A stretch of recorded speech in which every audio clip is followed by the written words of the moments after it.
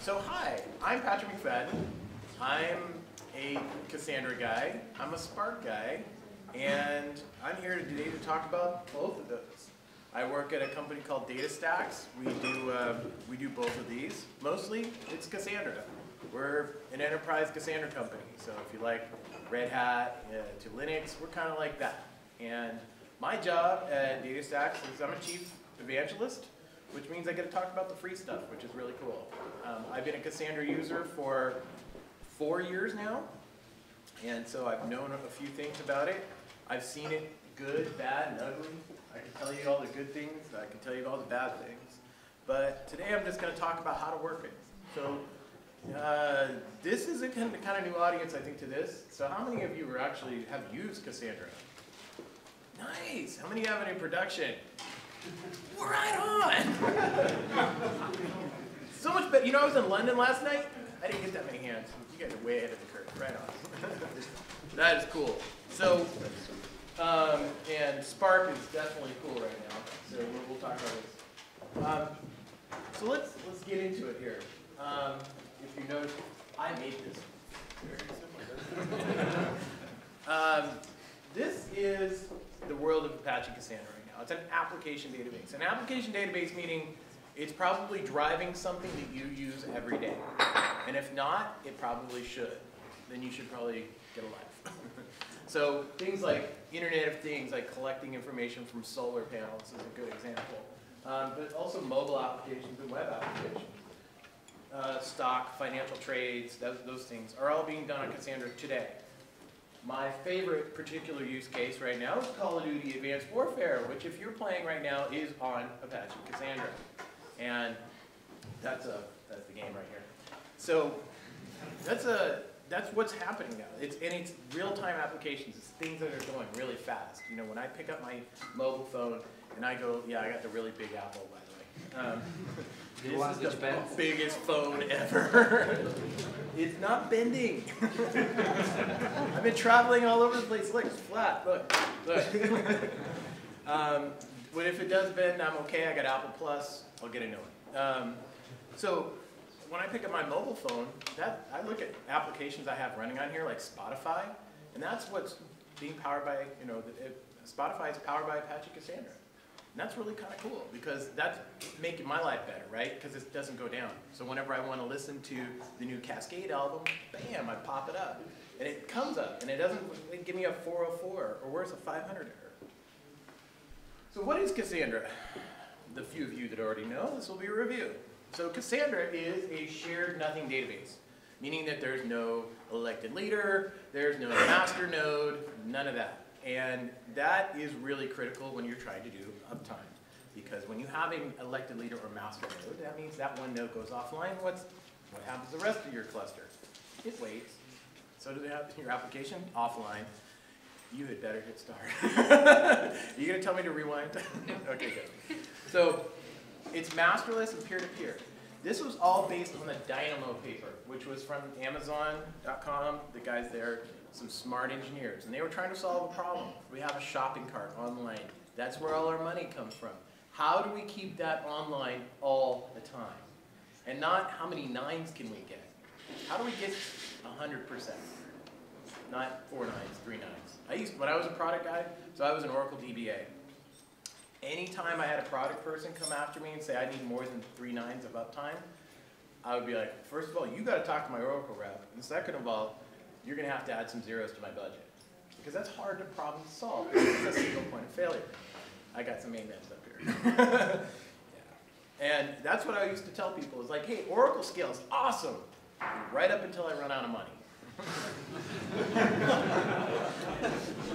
so that's when I first started using Cassandra. I ran out of money. and I was like, there's got to be a better way to do this. So that's when I started doing this. Um, and this is what I wanted. I wanted this line, this straight linear curve, or linear line above my scaling. I did not want this to be, when I add new servers, downtime, redo, build some sharding into my application. I was doing that. Oh, I sharded like a champ. I sharded everything. And what happened? You denormalize your database, you start sharding. Then what happens? The application developers really hate you because they're like, I can't do a join anymore. Yeah. Well, now that my data is all spread out, whenever I lose one server, a quarter of my customers are offline. Yeah, that's the way we build the system. they never got that. So, all right. So I want this, this kind of scaling. So whenever I don't know what my load's going to be, I want to be able to add nodes when I have to add it. You know, and plenty of times whenever you start a new product or a new project, people ask, hey, what's it going to scale to? Uh, we're going to get 10,000 users a month. Like, how do you know? What happens if you get 100,000? That big server you just bought isn't big enough. So what do you do? Go get a bigger one, right? I had a great relationship with HP. They would deliver a server within two weeks. That sucked, because I had downtime because of that. And doing a forklift upgrade on servers is really bad idea. So this is a good idea. Um, so what about uptime? I mentioned that. This kind of uptime, there's only one way you're ever going to get 100% uptime. And that is being in two data centers. More than one data center. And I know this because I thought I would never have downtime. I, I got the best data centers in the world. We had downtime. I had a tornado hit a data center in Virginia. I didn't know they had tornadoes in Virginia. and it took it out. And that was right next to Amazon, by the way. And that happens. Things happen. There was a great talk by the guy who runs Yahoo's infrastructure. He has 24 data centers. And his talk will make you nervous if you run infrastructure things from squirrels and junction boxes to people hitting fire alarms and shutting down all the power to someone running through a truck through a data center. exactly when did you plan for that? Never. Hey, all right, so we look at page five where it says the truck going through the data center. What are we going to do about that? Never said that.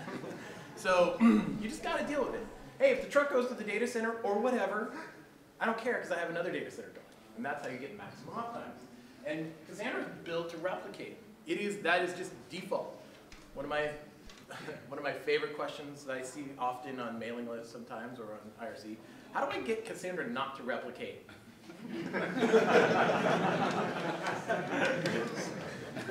Use Postgres? um, so, that's, that's a troll.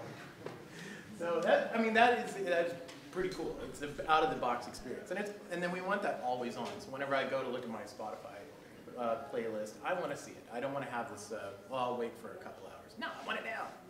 So this is an interesting graph, actually. This, is, this shows a failure mode that we introduced into a test system. We were doing 40,000 reads per second. Took one node out. We have this thing called uh, rapid read protection, which the nodes actually figure out what's going on. You can see all of them rerouting all that information going. So that's what you need in your application. You don't want to get up at 3 a.m. when it goes down. So how does all this work? So I'm going to get, I'm going to touch on the replication. This is not to be net, not meant to be a deep dive into Cassandra internals. If you Google my name, you can find one. But I'm just going to touch on this and why does it work and how does it work for your application. So when a client writes data into a cluster, it is all done asynchronously. So it will write randomly, in some cases, to a node inside the cluster, with more modern drivers now, actually the driver is a part of the system and will pick the correct server where the data should reside. But there's also a secondary effect. It's that the server that you pick, it's that server's job to asynchronously replicate to the other uh, replica sets in the clusters. So that happens asynchronously in the background while still acknowledging to the client. But across the WAN, we can also create one connection to the other data center and asynchronously copy there as well. And then that node's job is to asynchronously copy inside. You noticed I used the word asynchronous quite a bit? One That's question, is this document-based database? No, it is not a document-based database. Um, there are two document-based databases. There's Couch yeah. and Mongo. Yeah. We are not that. Yeah, and Solr as well. Well, I could say there's schema in that too, but some, yeah. That's an indexing system. It's not a database. So um, we are a column family database, but I'm glad you asked that question because okay, well, I'm going to wait. I'm not yet. I'm not glad yet, but you will be glad you asked that question because I have the next. Let me finish this one. Yeah.